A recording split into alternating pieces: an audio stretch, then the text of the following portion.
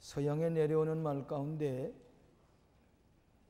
영어의 가장 아름다운 세 가지 단어가 있는데 그 하나가 하늘이라는 단어, heaven이라는 단어고 두 번째가 어머니라는 단어, mother라고 하는 단어고 세 번째가 가정이라고 하는 home, 하늘 또 어머니, 가정 이 영어의 세 단어는 너무나도 훌륭하고 아름다운 단어라. 그렇게 전해지고 있습니다. 우리 인생은 가정을 떠나서는 생존할 수가 없습니다. 가정에서 태어나고, 가정에서 자라고 양육을 받고, 가정에서 사랑을 받고, 또 가정에서 행복을 누리고, 가정에서 치유를 받고, 또 가정에서 새로운 가정이 태어나고, 우리는 가정에서 생명을 거두게 되는 것입니다. 동물과 달리 우리 인생은 오랫동안 가정에 머물면서 가정과 함께 살게 되어 있는 것이 우리 인간인 것입니다. 누구든지 좋은 가정, 행복한 가정을 만들어서 훌륭한 자녀들을 키워서 교회와 나라와 사회에 공헌하는 그런 부모가 되고 그런 가정이 되기를 모두 다 소원하고 있습니다. 장로교회 창시자인 칼빈이 얘기를 하기를 가정은 교회 안에 있는 또 하나의 가정이다.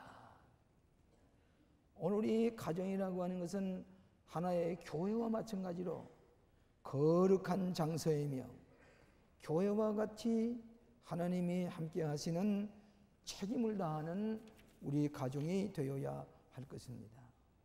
여러분 성경 말씀을 가만히 읽어보면 가족에 대한 얘기가 반복해서 나오고 있습니다. 어떤 가정은 행복한 가정, 어떤 가정은 축복받은 가정, 어떤 가정은 불행한 가정, 어떤 가정은 아주 몹시 어, 어려움을 당하는 비극적인 가정들. 가정의 이야기로 가득 차 있습니다. 그러면서 이 가정의 이야기를 통해서 우리가 은혜를 받고 교훈을 받게 되어 있습니다. 여러분은 구약 성경 창세기를 보면은 아브라함의 가정의 얘기입니다. 그 다음에는 이삭과 야곱의 가정의 얘기들입니다. 그 다음에는 요셉에 대한 얘기입니다. 이것이 창세기의 대중 가정의 얘기로 가득 차 있는 말씀입니다. 저는 오늘, 오늘 아침에 여러분에게 우리 남성의 모델이 되는 요셉과 그의 가정에 대한 얘기를 말씀드림으로 함께 은혜를 받고자 합니다. 요셉은 구약성선 가운데 가장 흠이 없는 온전한 사람입니다. 그래서 어떤 사람이 말하기를 요셉은 예수님의 그림자다. 그렇게 얘기를 합니다. 여러분 요셉은 17살 났을 때에 형들에게 팔려서 애굽의 종살이를 하게 됩니다. 그런데 17살 나서 애굽의 종으로 팔려갔지만 13년 후에 30살에 애굽의 종리 제신이 됩니다. 그간의 우여곡절이 많았습니다. 근데 그 얘기는 우리가 나중에 하기로 하고 척보기에는 이 요셉은 성공한 사람입니다. 흠이 없는 사람입니다. 다 요셉과 같은 얘기를 하게 되면 모두 다 좋아합니다. 그러나 요셉의 가정 생활을 살펴보면 몹시 불행했습니다.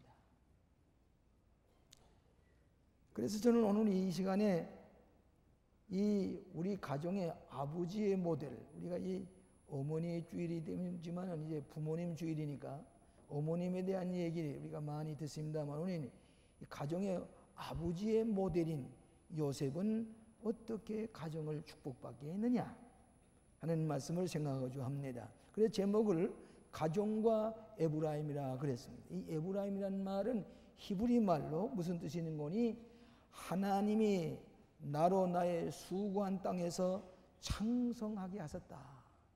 내가 수고하는 땅에서 창성한 축복을 받게 했다. 그런 뜻으로 에브라임이라 그렇게 이름을 줬는데 저는 오늘 이 시간에 가정과 에브라임이라 그런 제목을 택하고 은혜를 받고자 합니다. 첫째로는 요셉의 환경을 극복한 가정 신학이라 그게 제목을 붙여봤어요. 요셉의 환경을 극복한 가정 신학이라. 여러분 요셉이 구약에 나오는 인생 중에 가장 성공하고 실수함이 없이 준수하게 그리고 가정을 잘 꾸려나간 축복받은 그런 요셉, 요셉으로 알고 있습니다. 그러나 가만히 보면은 요셉은 불행한 사람입니다. 거의 고아와 같은 사람입니다. 어머니는 어렸을 적에 일찍이 동생을 낳다가 세상을 떠났습니다. 라헬, 베냐민을 낳다가 세상을 떠났지요. 그 무덤이 이스라엘 나라가게 되면은 베들레헴을 가는 도중에 라헬의 무덤이 있습니다. 요셉의 어머님의 무덤입니다. 일찍이 어머님을 잃어버리고 어머님의 사랑은 제대로 받지 못했습니다. 그뿐만 아니라 요셉은 새 어머니를 계모로 모셨습니다. 새 어머니를. 그러면서 그 열두 형제 가운데 열한 형제가 요셉이 꿈도 꾸고 비전이 있고 지도력도 있고 지혜롭고 외모도 잘생겨 있으니까 형제들이 이 요셉을 미워하고 시기하고 질투했습니다. 요즘 말하면 요셉이 형제들 가운데 왕따를 당했습니다. 그런데 여러분 가만히 요셉이 이렇게 훌륭하지만 요셉의 아버지를 가만히 보면은 여러분 이스라엘 야곱이 훌륭하지만은 가정 생활은 몹시 문란했습니다. 복잡했습니다. 근데 요셉은 아버지의 복잡한 가정 생활을 잊어버리고 절대로 영향을 안 받았어요. 여러분 성경은 너무 자세하게 기록되기 때문에 여러분 한번 들어보시면은 처음에 요셉은 라헬을 사랑했는데 라헬 대신에 레아라고 하는 그런 언니가 먼저 잠자리에 들어왔어요. 그래서 그분하고 사는데 아들을 여섯 낳고 딸이 하나 있었어요. 7년 동안 고생한 후에 사랑하는 예, 사랑하던 사람이 라헬을 맞아들였습니다. 그 라헬의 몸에서 남긴 누군가니 요셉과 베냐민입니다. 그 다음에는 이 야곱이 또 실수를 했어요. 라헬의 몸종인 빌하라고 하는 몸종과 또 어, 관계를 맺어서 두 아들을 낳습니다. 그 다음에 리아의 몸종인 질바라고 하는 그 몸종과 또 관계를 맺어서 두 아들을 낳았어요. 그 열두 아들이 돼서 열두 지파가 됐습니다. 근데 그 중에 요셉이 봄없이 뛰어났기 때문에 그 17살 날 때에 애굽에 팔아먹지요. 그래서 요셉의 옷에다가 양의 피를 묻혀가지고 아버지에게 이 짐승에 맥혀 죽었다고 이 거짓말을 해서 애굽에 팔아먹습니다. 근데 요셉은 그 아버지의 복잡한 가정관계, 형제들 관계, 미움과 시기와 질투 가운데 자라게 되면서 이 요셉은 몹시 고독했을 것입니다. 그뿐만 아니라 이 성경에는 좀 부끄러운 얘기가 하나 있는데 이 맏형의 누벤이라는 마다들이 있었는데 요셉의 마다들입니다. 이 마다들이 빌하라고 하는 이 라헬의 몸종과 더불어 간통을 하는 게 되는 겁니다. 성서는 부끄러움 없이 다 기록해요. 그러니까 아버지의 침상을 범했기 때문에 아버지가 축복하실 때에 이 루벤에겐 축복을 안 해줍니다. 큰 잘못을 했기 때문입니다. 그러니까 이 요셉의 가정이 얼마나 복잡하고 추한 일이 있습니까? 그렇기 때문에 요셉은 어렸을 때부터 따뜻한 어머님의 사랑이나 형제들 간의 우애라든지 이것을 경험해 보지 못하고 7살, 17살 났을 때에 애굽의 몸종으로 팔려가는 비극적인 운명이 되고 맙니다. 그러니까 요셉은 세 가지 불행이 있습니다. 가족 족보를 볼 때도 불행한 족보에 속해 있었고, 그는 생리적으로도 외모가 뛰어났기 때문에 그는 나중에 큰 시험을 당하고 유혹을 받게 되고 옥에 갇히게 됩니다. 그 다음에 그는 사회적인 환경이 애굽 땅에 가서 불의한 대우를 받고 거짓 증거로 말미암아 억울하게 감옥살이를 하게 되는 것입니다. 그러나 요셉은 그런 환경 어떤 환경이라도 요셉이 가졌던 꿈과 비전을 절대로 방해하지 못하고 끝까지 요셉은 자기가 가진 꿈과 그의 비전을 실현하고야만 하는 것입니다. 이런 모든 핸디캡들이 이 요셉을 방해하지를 못했다고 하는 사실입니다. 그뿐만 아니라 요셉의 결혼 생활을 가만히 보면 어, 요셉은 한 아내를 와 결혼을 했는데 그 아내는 잡신을 섬기는 제사장의 딸입니다. 애굽의 여자입니다. 이름은 아스나시라 그랬는데 이 독실한 이 이스라엘의 후손인 요셉이 애굽의 잡신을 섬기는 제사장의 딸과 결혼을 했습니다. 그러니 생각하는 거나 종교적인 면이나 신령한 면에서 이 여인과 마음이 맞지 못할 겁니다. 그러니까 얼마나 요셉이 고민했겠습니까? 고통스러웠을 것입니다. 그러나 이 요셉은 한 번도 자기 아내 이 아스낫의 영향을 받지 아니하고 이방신의 영향을 받지 아니하고 끝까지 자기의 신앙 신학을 지켜서 요셉은 실수하지 아니하고 이 자녀들에게 문하세와 에브라임이라고 하는 히브리 말의 이름을 붙여주게 되는 것입니다. 요셉은 고아와 같습니다. 고독했습니다. 부모님의 사랑도 제대로 받지 못하고 형제들에게 미움을 받아서 17살에 애굽 땅에 노예로 팔려오는 아주 불운한 불행한 소년이었습니다. 그렇지만은 요셉은 하나님을 철저하게 믿었기 때문에 어머님은 안 계시고 일찍이 오였지만은 그의 하나님이 어머님을 대신해 주었습니다. 아버지를 떠나 있었지만은 그가 가지고 믿는 신앙 그 하나님이 아버지를 대신해 주셨습니다. 이것이 요셉의 신학입니다. 오늘 여러분 가정 중환을 당할 때마다 아버지 어머니 갖춘 행복한 가정에 대한 얘기를 많이 하고 있지만은 우리가 이 신앙 생활을 교회 안에서 바로 하게 될 때에 어머니를 찌고 있는 자녀들은 우리 하나님이 어머님 대신에 우리를 교회를 통해서 사랑을 받게 하고 아버지 대신에 아버지 없는 사람이 아버지 대신에 하나님께서 그 자녀를 아버지처럼 돌보아 주신 그 가정이 바로 에브라임의 가정의 축복을 누리는 것을 믿으시기를 바랍니다. 이것이 이것이 요셉의 가정의 신학이요. 오늘 여러분들이 수고한 땅에서 창성하게 되는 하나님의 축복이 여러분에게 임하시기를 먼저 축원합니다. 두 번째는 가정의 시련을 이겨낸 인내와 관여입니다. 여러분 시련이 없는 가정은 한 가정도 없습니다. 고통이 없는 가정이 한 가정도 없습니다.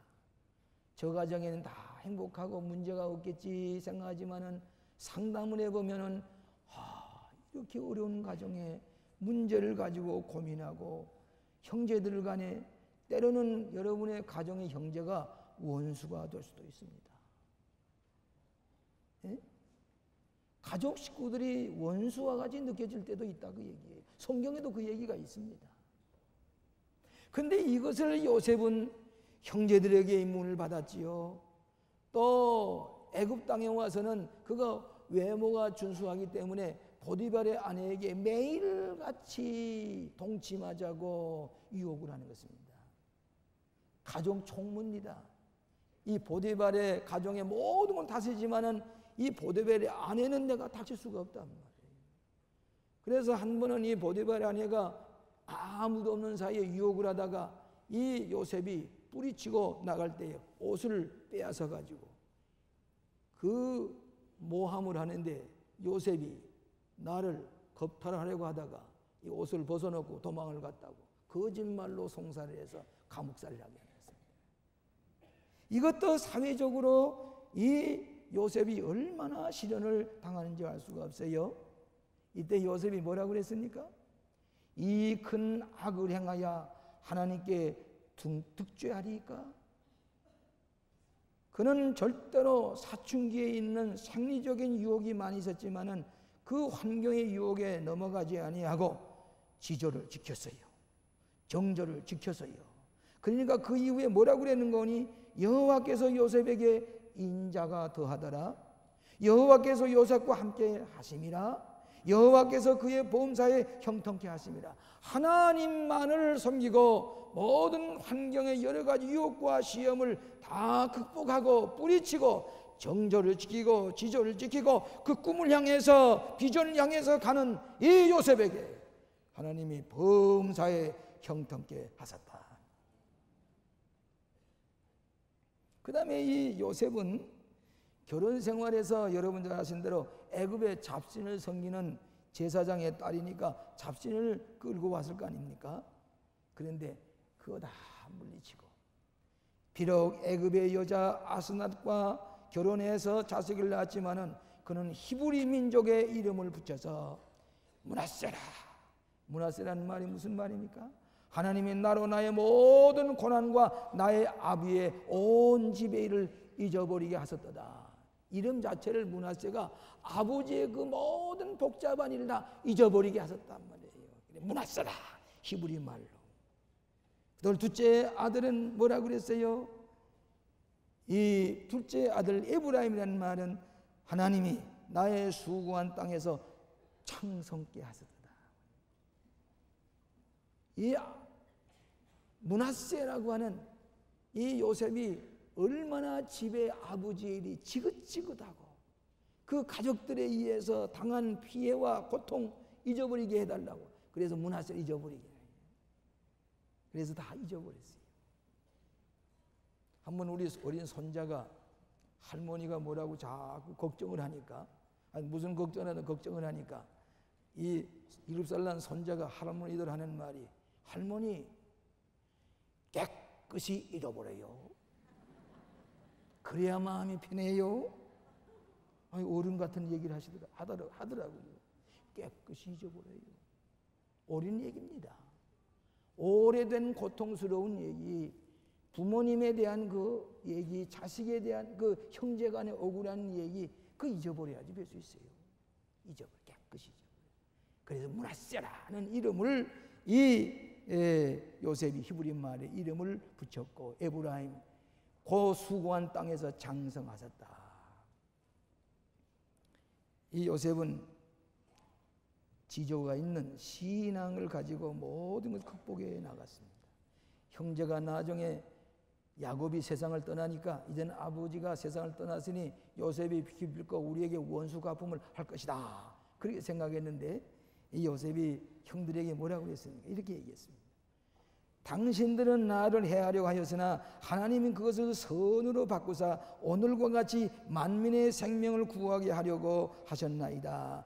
두려워하지 마십시오. 그리고 간곡하게 위로하였다 그랬어요. 형들이 이 요셉에게 큰 원수 갚음을 받을 것이라고 생각하는데 당신들은 나를 해치려고 했지만은 하나님을 악을 선으로 바꾸어서 7년 동안 흉년이 들었을 것을 알고 7년 동안 풍년이 들었을 때에 쌀을 저작을 하고 모든 곡식을 저, 저, 저장을 해서 에, 땅에 모래와 같이 만민들을 살게 하고 당신들도 여기 와서 살게 되잖아요. 이렇게 선한 마음을 가지고 있는 요셉은 인내하고 참고 지조를 지키는 요셉에게 악이 변하여 설이 되게 하세요. 고통의 땅에서 창성하게 하세요. 이것이 에브라임의 축복인 줄로 믿습니다. 오늘 여러분들도 우리 가정에서 여러분 가만히 보면은 가정의 성령 말씀대로 가족 사이에 억울한 일, 가족 사이 이해야 못할 일. 정말 원수가 있는 것 같이 그렇게 느껴져 있지만은 별 수 없습니다. 우리는 요셉과 같이 다 잊어버려서 문화세, 문화세 축복을 얻게 되시기를 바랍니다. 참아야 됩니다. 관영을 가져야 됩니다. 고난이 여러분에게 현실적이고 아주 사실인 것처럼 하나님도 사실입니다. 하나님도 현실적으로 사실입니다. 그런 거로 하나님만 의지하게 될 때에 이 고난의 문제가 다 해결이 되고 이것이 악한 것이 변해서 선으로 문하세의 축복이 임하고 에브라임의 축복이 임하게 되는 것을 믿으시기를 바랍니다. 이것이 오늘 요셉에게 주시는 우리에게 주시는 교훈의 말씀인 것입니다. 마지막으로 축복의 가정을 만드는 자원이 있어야 됩니다. 여러분의 가정의 축복의 자원이 무엇입니까? 여러분 가정 생활이라고 하는 것은 그렇게 쉬운 일이 아닙니다. 제가 이 결혼식 주례하실 때마다 그렇게 행복해서 신부가 신랑의 팔을 껴고 그리고 행복해서 그래서 걸어가지만은 그러나 일생 동안 가정이라는 것이 그렇게 쉬운 일이 아니에요. 행복하게 살다는 것이 쉬운 일이 아니에요. 예상치 못했던 고난과 시련이 우리에게 닥치는데 이것이 일생 동안입니다. 죽을 때까지입니다.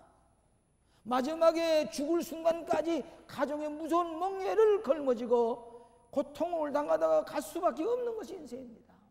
뭐 새롭게 다른 거 생각할 필요가 없어요. 우리의 사는 것이 그렇게 쉬운 일이 아닙니다. 문제 없는 가정 없습니다. 어떤 사람은 자포자기해 가지고 쉽게 낙심하고 아주 포기해 버린 사람이 있는데 이것은 잘못입니다. 최근에 미국에 나온 잡지 가운데 결혼에 대한 얘기를 쓰면서 이렇게 얘기를 했어요. 새로 미국 가정입니다. 새로 난 새로 결혼한 가정에서 이혼하는 확률이 미국 사회 50%라고 그럽니다.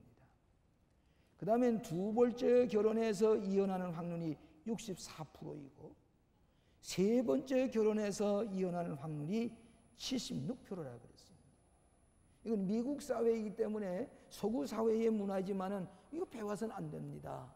여러분에게 귀한 아내 자식을 낳아서 키운 거 베드로 전서 3장 7절의 말씀 같이로 그것이 그 연약한 그릇이 우리의 유산을 은혜의 유산을 계승한 사랑하는 아내 하나님께 짝지어주는 선물 혹 약한 것도 있고 부족한 것도 있고 성경에 맞지 않는 것도 있다고 할지라도 나에게 하나님께 주신 선물이라고 생각할 때에 존중히 여기고 귀히 여기고 사랑하고 그리고서 그를 통해서 이 에브라임의 축복을 누리게 하는 것을 믿게 될 때에 우리는 참고 견디고 나가야 될 것이고 자포자기하거나 낙심하지 아니하고 이 기초가 믿음의 근거에 있는 믿음의 자원에서 이루어진다고 하는 것을 우리가 알아야 됩니다. 여러분 어떤 사람은 돈 많은 사람들끼리 결혼합니다마는 그 얼마 못 가서 파괴되는 것 많이 봅니다. 물질이 그 가정의 기초가 되어서 자원이 될 수가 없기 때문에 권세 있는 사람들끼리 아 그련해서 수천 모임에서 결혼해서 얼마 못 가서 저도 때도 미안한 얘기입니다만은 때떨어지가 결혼식 줄이라고 해서 이 가정은 잘 살 거라 했는데 한 달이 못 가서 소리 들어오면은 그 가정이 헤어졌다. 가슴 아픈 일들이에요. 그러니 친부모는 어떻게 생각하냐 그 말이에요. 네? 둘이 행복하게 살아가니 툭탁툭탁 이상한 소리가 들어올 때 그 가슴 아픈 얘기 아니에요. 그 가정이라고는 일생 동안을 평안하게 살 수가 없도록 무거운 몽해를 지게 하는 것이 가정인데 이것이 우리가 해결되시는 방법이라고 하는 것은 믿음을 가지고 하나님을 공용하는 신앙에 기쳐 있는 가정이 될 때에 그 가정은 아브라함이 이 에브라임과 문하세 이 요셉이 요셉이 그 두 아들을 데리고 아버지 야곱에게 축복을 받으러 갔을 때 야곱이 그 두 손자에게 축복해 주는데 마다들에게 오른 팔을 얹어야 될 텐데 마다들은 왼편 팔을 얹고 동생 에브라임에게 온수를 얹어서 축복해 주니까 요셉이 아버지 그게 아닙니다. 이 맏아들이 여기 있으면 내가 다 안다 알아. 그리고 축복해 주었어요. 이방 땅에서 애굽의 여인과의 더불어 낳은 아들이지만은 문하세와 아브라 이 에브라임에게 아버지를 통해서 축복의 하나님의 축복을 받게 하고 그 축복대로 됐어요.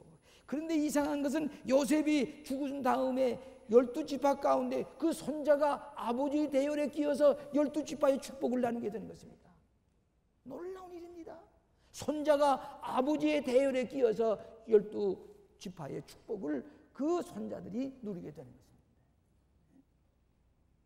오늘 사랑하신 여러분, 그 근거가 되는 거니 하나님을 경외하고 성령 말씀대로 사는 진리의 근거에 있는. 다른 자원이 절대로 없습니다. 그렇기 때문에 이 요셉이 에브라임의 축복을 받은 것은 신앙의 자원에 근거했기 때문인 줄로 믿습니다. 요셉은 결코 행복한 가정에 태어나지 않았습니다. 행복한 환경도 아니고 족보도 다 잘못되었습니다. 그러나 요셉은 끝까지 예수 그리스도 이 하나님 이 하나님이 그의 신앙의 근거가 되었을 때 불행한 요셉이 에브라임의 축복을 누리게 하신 것을 믿으시기 바랍니다. 얼마 전에 유고에 가서 포로 세 사람 미군 포로를 석방시킨 미국 대통령 출마했던 흑인 지도자 제시 잭슨이라는 사람도 사실은 불행한 가정입니다. 아버지가 누군지도 모르고 예, 요즘 말하면 싱글 독 예, 아버지가 누군지 모르는 집에서 태어난 자식입니다. 또 조단이라는 유명한 운동선수도 마찬가지입니다. 일본의 카가와 토요이코 선생은 홀모니 밑에서 자랐습니다. 기생의 아들입니다. 아버지가 누군지 모릅니다. 불행한 가정에서 태어났습니다. 그러나 그는 성자가 됐습니다. 성자가 됐습니다. 에브라임이 됐습니다. 오늘 여러분의 혹 가정 가운데 나는 가정 환경이 나의 아버지가 누군지도 잘 모르고 나는 지금 불행한 환경 가운데 여러분 걱정하지 마세요. 사실 요셉도 둘째 부인의 아들입니다. 그런데 요셉이 축복을 받았습니다. 사랑하신 여러분, 여러분이 고난과 수고의 땅에서 어렵게 지났지만 하나님께서는 잊어버리게 하시고 문화세의 축복과 그 모든 고난과 어려움이 변해서 창덕게 하시는 축복이 임하는 에브라임의 오늘 여러분의 가정의 축복이 되시기를 주 이름으로 축원합니다. 기도하십시다. 오자비하신 아버지 요셉의 가정을 통해서 우리가 은혜 받게 해주셔싸우니 감사합니다.